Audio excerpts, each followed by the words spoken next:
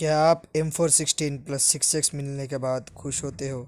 लेकिन आपसे recoil control नहीं हो पाता है, आपका स्प्रे ढंग से नहीं हो पाता है, आप एम करते हो बंदे के हेड में, लेकिन गोली जाता है आसमान में और आप सोचते हो, काश थोड़ा स्प्रे अच्छा होता है। काश मेरा स्प्रे इस क्लिप की तरह होता है जैसे कि अभी ये बंदा स्प्रे कर रहा है। तो अगर आपको ऐसा स्प्रे करना है तो आप इस वीडियो में बने रहिए, मैं आपको पूरा डिटेल्स बताता हूँ सो लेट्स डू अभी रिकॉयल जो है, वो दो तरीके की होती है horizontal and vertical vertical recoil का मतलब है ऊपर से लेके नीचे जो रिकॉयल होता है, और हॉराइजेंटल रिकॉयल का मतलब है left to right vertical recoil is much easier to control because आपको पता रहता है कि आपका स्क्रीन कितना ऊपर जा रहा है या फिर आपका scope on the other hand horizontal recoil में ऐसा नहीं रहता है, वो अनप्रडिक्टेबल है, आप उसको प्रिडिक्ट नहीं कर सकते कि वो लेफ़्ट जाएगा या फिर राइट जाएगा. तो इसीलिए horizontal recoil is much more harder to control. To control horizontal and vertical recoil, हम लोग पबजी मोबाइल में ग्रिप्स यूज़ करते हैं और अपने सिक्सेस को कन्वर्ट कर लेते थ्री एक्स में, जो कि आपको आगे वाले क्लिप्स में दिखेंगे। और दूसरा प्रॉब्लम ये हो जाता है कि आपका सेंसिटिविटी अगर लो है तो आप हॉरिजेंटल रिकॉयल बिल्कुल कंट्रोल नहीं कर सकोगे। वर्टिकल रिकॉयल भी बहुत हार्ड हो जाएगा, जैसे कि इस क्लिप में आपको दिख रहा है। तो आपको अच्छा एक सेंसिटिविटी फाइंड करना है और टिप वन जो मैं यहाँ पे देना चाहूँगा वो है ग्रिप्स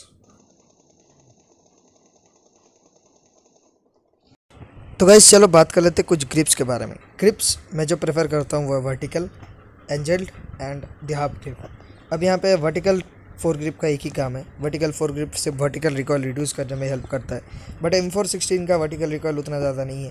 तो वर्टिकल रिकॉल के मामले में वर्टिकल फोर ग्रिप हेल्प करेगा, लेकिन उस वर्टिकल फोर ग्रिप लगा के आपको ज़्यादा कुछ डिफरेंस नहीं देखने को मिलेगा, क्योंकि एम फोर सिक्सटीन का वर्टिकल रिकॉल कम है।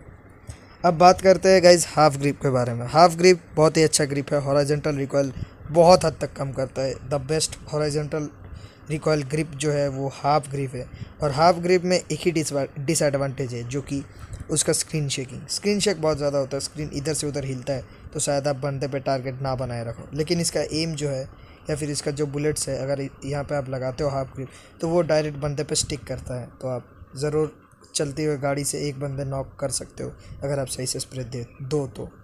और हाफ़ ग्रिप का यही फ़ायदा है और नुकसान भी मैंने आपको बता दिया है। So my second favourite grip for the M four one six is the half grip and अगर आप मेरे को हाफ़ ग्रिप नहीं मिलता तो मैं वर्टिकल फोर ग्रिप लगाता हूँ। अगर हाफ़ ग्रिप अगर मेरे को हाफ़ ग्रिप मिल जाता है तो I switch it to the half grip लेकिन अगर मेरे को एंगल फोर ग्रिप मिलता है तो मैं एंगल फोर ग्रिप चलाता हूँ। अब बहुत कोई बोलेंगे कि एंगल फोर ग्रिप से ज़्यादा हाफ़ ग्रिप में हॉराइजेंटल रिकॉयल कम होता है। ये बात मेरे को भी पता है, लेकिन स्क्रीन शेक के चलते मेरे को थोड़ा सा प्रॉब्लम हो जाता है। अगर आप स्टॉक लगाते हो एम फोर में तो बुलेट स्प्रेड बहुत ही अच्छा होता है तो आप हाफ़ ग्रिप ज़रूर यूज़ करें। लेकिन अगर आपके पास स्टॉक नहीं है तो आप, मैं प्रेफर करता हूँ एंगल फोर ग्रिप क्योंकि एंगल फोर ग्रिप जो है बहुत ही एक स्टेबल ग्रिप है। इसमें एमिंग भी जो है थोड़ा सा फास्ट है। तो अगर आप जल्दी से बंदे में एम कर पाते हो तो angle fore grip is the best और एंगल फोर ग्रिप में अगर आप गाड़ी में स्प्रे देते हो मतलब चलती हुई गाड़ी में, कोई बंदे को तो आप ज़रूर दो से तीन गिरा दोगे, अगर आपका स्प्रे सही है तो।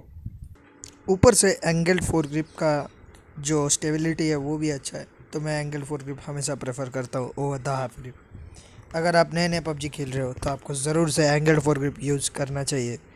हाफ़ ग्रिप अब तब यूज़ कीजिए जब आपको खेलना सही से आ गया हो अगर आप 300-400 मीटर स्प्रे देते हो तो स्क्रीन अगर हिलता है तो उसमें आपको बहुत ज़्यादा प्रॉब्लम होने वाला है।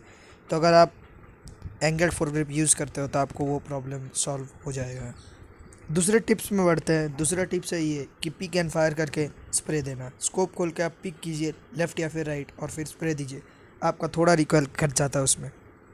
नेक्स्ट जो है, मैं बताने वाला हूँ, वो है crouch peek and then spray तो इसमें भी बहुत हद तक रिकॉयल आपको स्टेबिलिटी दिखेगा, देखने को मिलेगा आपके गन्स के ऊपर, जब भी आप ये ट्रिक फॉलो करते हो। तो गाइज़ ये ट्रिक ज़रूर से फॉलो करना। जब भी आप स्प्रे दे रहे हो या फिर जब भी आप कहीं बंदे पे दूर स्प्रे दे रहे हो तो ये टिप्स फॉलो करना guys they will help you a lot so guys इसके बाद जो मैं बात करने वाला हूँ, वो है लेट के स्प्रे अभी लेट्स के लेट के अगर आप स्प्रे देते हो किसी भी ऑब्जेक्ट के सामने और आपका टारगेट लॉक हो जाता है तो तो आप लेज़र जैसा स्प्रे दे सकते हो। बहुत ही अच्छा स्प्रे तब आपको देखने को मिलेगा अगर आप लेट के स्प्रे देते हो। तो अगर मेरे को 300-400 मीटर स्प्रे देना है तो मैं ज़रूर लेट के स्प्रे दूँगा और एंगल फोर ग्रिप लगाऊँगा। अब आप कंपनसेटर ज़रूर से लगा लीजिए। कंपनसेटर बहुत ही अच्छा है। कंपनसेटर थोड़ा सा रिकॉयल कंट्रोल में भी हेल्प करता है। फिर अगर आपके पास सप्रेसर है तो उसकी जगह आप कंपनसेटर ज़रूर कंसिडर कीजिए। और सिक्स एक्स को थ्री एक्स में कन्वर्ट कर लीजिए।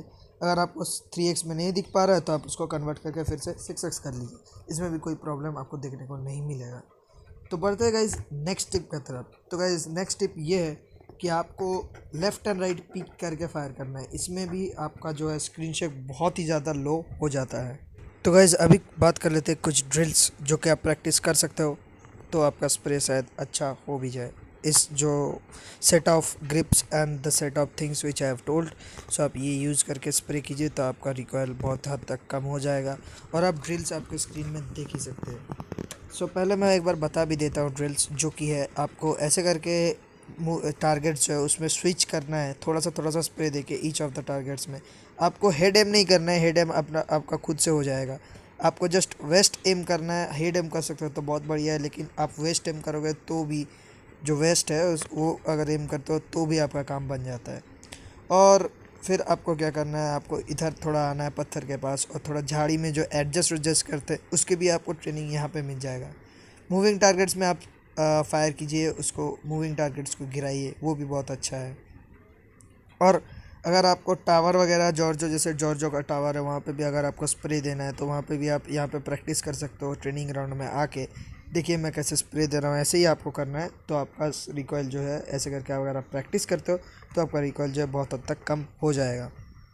एंगल फोर ग्रिप यूज़ कीजिए ट्रेनिंग ग्राउंड में और सबसे बेस्ट होगा अगर आप सब खोल देते हो मतलब the grip the compensator and the tac stock अगर आप खोल के एक सेट स्प्रे देते हो with two hundred ammos and the next set आप ग्रिप्स लगाते हो तो आपको डिफरेंस खुद से पता चल जाएगा और आपका रिकॉयल कंट्रोल भी बहुत हद तक सही हो जाएगा। सेंसिटिविटी के बारे में बात करते हैं तो सेंसिटिविटी थोड़ा सा हाई रखे हमेशा। सेंसिटिविटी हाई रखने से ये फ़ायदा होता है कि आपका रिस्पॉन्स थोड़ा सा फास्ट हो जाता है।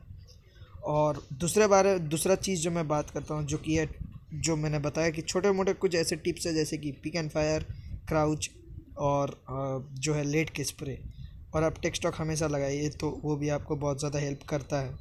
ठीक है गाइस तो बस यही कुछ टिप्स है आज की इस वीडियो में अब आप कुछ क्लिप्स देख लीजिए मेरे रिकॉयल का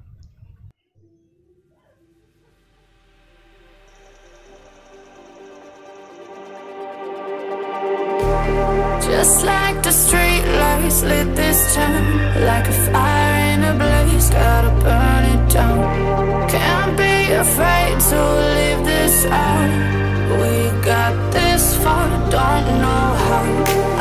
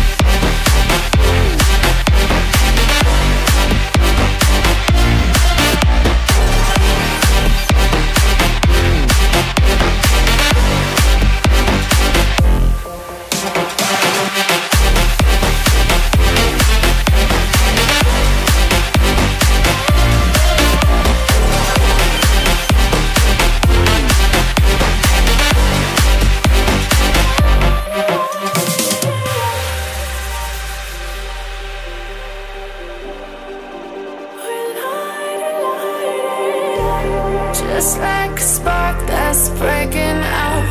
Can't make a stop, can't turn back now. We know that there's no room for doubt.